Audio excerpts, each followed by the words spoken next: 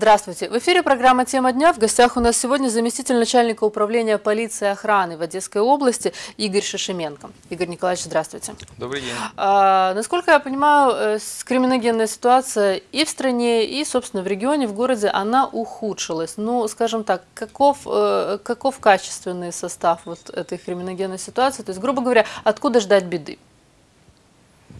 Ну, о том, что криминогенная обстановка то ухудшается у нас, то улучшается. Мы знаем это по статистике, э, знаем это из средств массовой информации. Э, ну, не так страшен, наверное, волк, как его малюют, этого волка. Если человек э, старается уберечь себя от противоправных посягательств, э, тогда он не провоцирует на эти преступления, я бы так сказал. Ну, вот именно поэтому нужно понимать, собственно, где, где сейчас больше, вот. вели, более велик риск. Совершенно верно. Вот, вот э, самые простые примеры, которые мы говорим всегда, если сообщается, что кого-то там ограбили. В основном грабежи идут в позднее время суток. Э, очень часто подвергаются грабежам люди, которые в состоянии алкогольного опьянения. Они То поздно те, кто возвращ... не вполне адекватно оценивают это, ситуацию. это прямая жертва для грабителей. Это очень легкая добыча для них. Он может и не сопротивляться даже. Э, второй момент. Э, если человек э, ходит по улицам, там, где никто не ходит, а его могли отследить там даже за той же сумочки, украть мобильный телефон. Надо передвигаться там, у нас и патрули ходят по улицам, и машины ездят э, патрульные, и людей много. Маршрут да? планировать осознанно. Осознанно, да. Та же маршрутка, вы передвигаетесь маршруткой. Эти барсеточники называть, там, карманники. Да? Угу. Если вы будете распихивать свои вещи в задний карман, показывать э, свое портмоне, там, вытаскивать. Вы перед маршруткой достаньте там 5 гривен, сколько вам надо, надо же, положите в карманчик сбоку. Все остальное положите во внутренний карман, либо в сумочку, приземите, если маршрутки, ну, тесно, толкаются специально, могут там вытащить. Если в маршрутке у вас украли сумочку, ну или сумочки обычно... Обычно не сумочку, из сумочки аккуратненько из сумочки достают. вытаскивают кошелек с деньгами и достают мобильный телефон. Угу. Э, обычно обнаруживается когда? Когда человек вышел с маршрутного такси, увидел, что у него нету мобильного телефона, когда он вышел позвонить. Э, для этого есть, э, позвонить вы не можете уже в полицию, телефона нету. Кого-то попросить позвонить, люди могут пугаться, потому что есть мошенники, которые дайте позвонить и убегают с этим телефоном. В городе, это по всей стране, называется терминал выклик полиции, наклейка. Обычно мы их цепляем приближенные к маршрутам, угу. на магазинчиках, на остановках. Из их сотрудники этих всех учреждений предупреждены. Если обратится человек, забежал, говорит, мне надо, нажмите кнопочку, нужна полиция вызвать. Они нажимают нашу тревожную кнопку, приезжает угу. полицейский наряд. То есть это вместо, вот раньше стояли телефонные автоматы, а откуда можно было 102 нажать, да. да, но сейчас А здесь нет. ситуация, нет у вас мобильного телефона, кнопочку, желтые наклеечки, терминал выклик полиции. Домой заходите в подъезд, посмотрите, чтобы вас в подъезде никто не ждал. Освещение возле подъезда, это все от жильцов зависит. Все. Угу. Возле подъезда подъезда, вкрутите лампочку, включайте ее вечером. Уже никакой преступник на это не пойдет. Ну да, дождаться, Подъезд чтобы никто не, да. не заходил за тобой в подъезд. За тобой. Это особенно в многоэтажных домах, это много этажей, 9 и выше этажей. Там. Ну, обычно лифты те же. Лифты, э, дома. Э, опасные квартиры, низкие этажи, верхние этажи, куда залазят обычно. Ну, сейчас, когда вас нету дома. Понятно, что никому не надо открывать дверь, кому там не знаете, это одна. Э, второе, защищать надо свое жилье. Защищают чем? Домофоны надо ставить, чтобы вы видели, кто вам приходит, кого вы пускаете. Домофоны могут идти с записью. Можно фотографировать, записывать это все. Второй момент. Входные двери. Более-менее они должны быть у вас крепкими. Более-менее хотя бы. Окна. Откуда подлезть. Ну, я всегда говорю, для того, чтобы не ставить там супер мощные двери, которые надо взрывать, там, вытаскивать. Их обычно открывают ключами тогда специалисты. Ну, Если все у дело. вас хватило денег на очень дорогую дверь, значит внутри за дверью что-то лежит у вас. То есть да, такая дверь может даже провоцировать интерес. Ну, я этого не сказал, но оно так есть. Если за дверью находится сигнализация, тогда вопрос решаемый. она будет срабатывать на любые проникновения на вашу территорию. Что провоцирует больше всего э, квартир, э, квартирных воров? То есть ну, там хорошие двери, решетки, то есть Хорошая сразу машина. возникает, да, ну в любом случае вот да- даже даже квартира, то есть сразу возникает получается соблазн. Нет, на каждую, на каждую ось есть свое время года.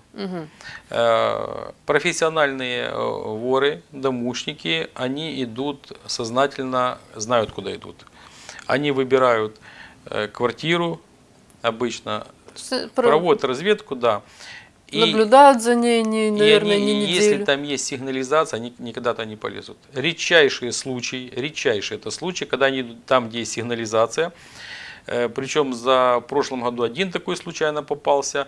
Он не увидел, Не что там сигнализация, да. Он залез, а вылез назад не смог, и его там взяли. И в этом году взяли. Э, Причем его взяли на второй квартирной краже. Первый он там ничего не позарился, а второй его взяли. Э, Быстро была блокирована квартира, этажный дом. И э, это настолько профессионал, у него несколько уже было отсидок.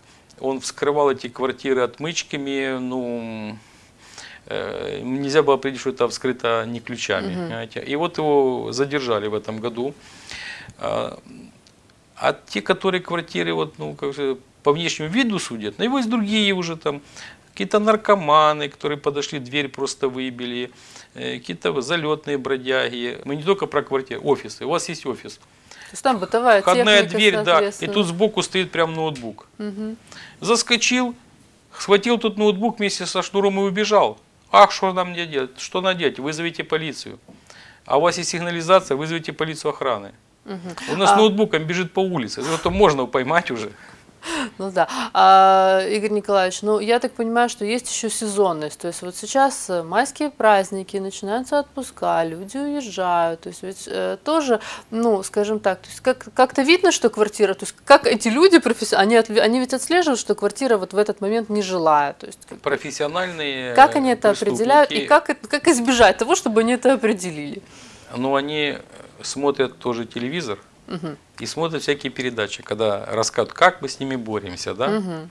Вот. э, Если у вас нету сигнализации в квартире, то, ну не знаю почему нету, там э, это не так дорого всегда, чем то, что может случиться. Просить соседку, чтобы она там приходила, там Ну, белье соседку, разное да, надо вывешивала. это- ну, там много вот этих всех, э, знаете, есть и в соцсетях этим делятся.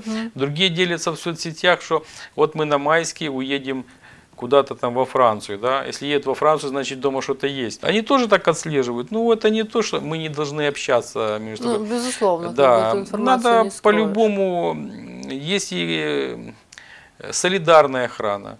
Э, Во всем подъезде ставится сигнализация, какая-то там, э, это автономная так называемая, сводится где-то в одну квартиру на несколько. Вариантов масса.